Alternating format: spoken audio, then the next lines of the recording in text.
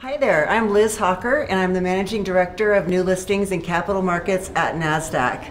I'm here today at the Silicon Slopes Summit in Salt Lake City, Utah, um, with the co founders of RTFKT.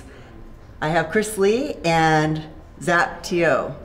Welcome. Thank, Thank you for you. having us. We're so excited. Yeah, it's a pleasure to be here.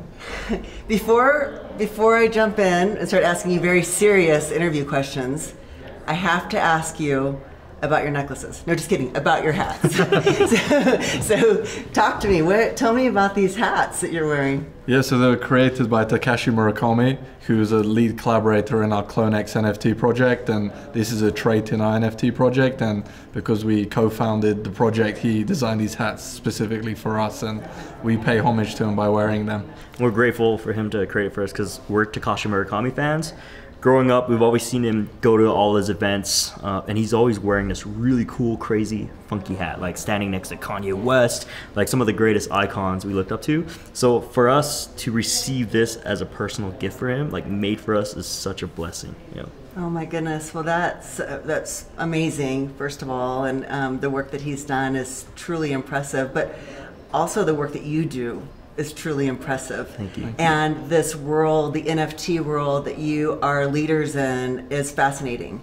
And so I'd like to hear about how you found your way to creating this great company and how you found each other and how you found your way to creating this company. So it all started with, uh, well, all three of us. There's one more co-founder who unfortunately couldn't be here today. We all come from different but similar backgrounds, and I feel like that's what made the magic happen. Um, I myself uh, came from a bunch of different areas in entertainment. So I was a film director. I worked in the music industry for a while, and then moved into gaming, where I designed video game skins, and that's where I got to see virtual economies. Uh, Zaptio, genius dude. I'll, he'll get Yeah. into his side, but let me let me me get Benoit's back. Benoit, uh, he came from like the, the, the luxury fashion scene and in esports. Um, he was the brand manager of a Fnatic, uh, and he, he made esports cool by trying to change Fnatic into a really cool lifestyle brand. You know? Yeah, and then I've dabbled in a lot of things in streetwear and sneakers and gaming, and Benoit basically put us three together, and we became great friends at first, and we were all working in different fields, and we came together and realized that there's no brand that organically captures the culture of today, which is gamers are into fashion and sneakers, and there wasn't a native brand that sort of encapsulated that, the creator economy. So we left what we were doing and were like, let's build this brand of the future together. Yeah, like we need each other. Without him, my digital sneakers are just digital online, and he's the one that like really forges them and hammers them into a, a physical reality. And Benoit is like this marketing guy who knows how to, you know, cr- basically create a brand and make sure everybody remembers that brand in their head. You know. Yeah, I mean, absolutely. Like creating from just an idea to the whole brand and the actual physical object that is that. It's it's really an amazing process. Tell me, so you just talked about the the um, creator economy. Is that Yeah. right? So talk to me a little bit about that. I think so. All of us, we come from a creative backgrounds and we've experienced the industry. So when we were starting the brand, we knew that that was an angle we wanted to help democratize. And blockchain technology and NFTs is open sourcing democratization for creatives and changing the way people are paid. So that was one of the key things we wanted to instill in our community. So Chris was a very talented 3D artist, was teaching people and we're trying to provide as much value as we can to our community so they can go and build their own brands within this new ecosystem. So we collaborate with a lot of young artists and we really want people to basically democratize this technology and this space and show people that creatives don't have to just work for agencies or work in big brands and not get any credit like this space is made for creative individuals. It's a very important time for creators too, because I myself, uh, as a creator, like even working in the film and music industry, as a VFX artist too, I felt like I was a replaceable asset, but I got paid low, but enjoyed uh, the the process and being an artist, and I felt like a lot of artists got taken advantage of by the industry because they look at us and say, "Oh, well, he's an artist, he loves what he's doing. Let's pay him this.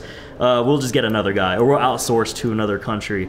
But with NFTs and blockchain, now artists can really have true ownership of their work, where they can track down who's buying and reselling on the secondary market. And they're always going to get a kickback for life.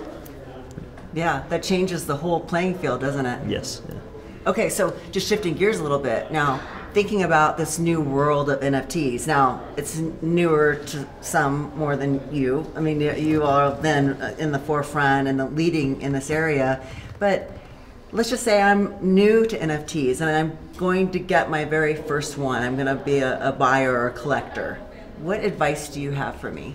I think the main advice is do your research first like look into a project look what are the team and check out the community behind the project you can either buy something because you love the visual and the art and i think the only way to experience the space is dive headfirst into a community and buy a project that resonates personally with you and then th- from there you'll build an understanding about the space and people are really concerned about the friction or like setting up a wallet the process is actually pretty simple you just need to go and spend some time researching i think OpenSea is the best place to start off and really experience what nfts are in a sense and if you're very new to the virtual items, say if you have kids, just ask them, hey, what's that thing you bought on Fortnite? They'll explain to you, oh, it's a skin, I bought it with V-Bucks, I used the credit card. It's almost the same process, but more evolved. Um, and to add into what was Z saying, uh, it's easy to get FOMOed into a project. That's why research is so important. People are getting scammed. So that's a big issue. So please be mindful, really research. Uh, don't FOMO into headlines or seeing so much hype on a project because the research is probably what's going to save your your bank. Yep. Okay, that's good to know. And then same thing for artists then.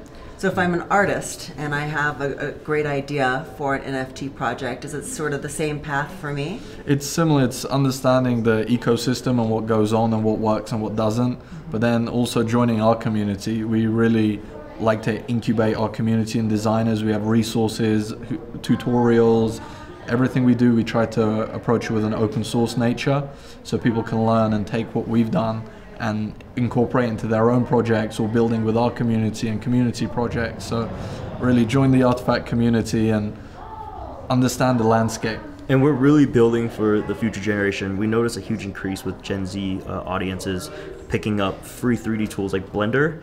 Like when I started doing 3D back in the mid late 90s 3d was very bizarre to people but nowadays 3d is so common you got kids making cool fortnite banners uh, while learning 3d learning photoshop learning how to texture 3d assets but it's going to be a very valuable time for the new youth to be a 3d artist well, thank you so much for coming by. It's thank such you. an honor to meet both of you and to hear your story, and I can't wait to see what's next. Awesome. Thank you, thank you so much.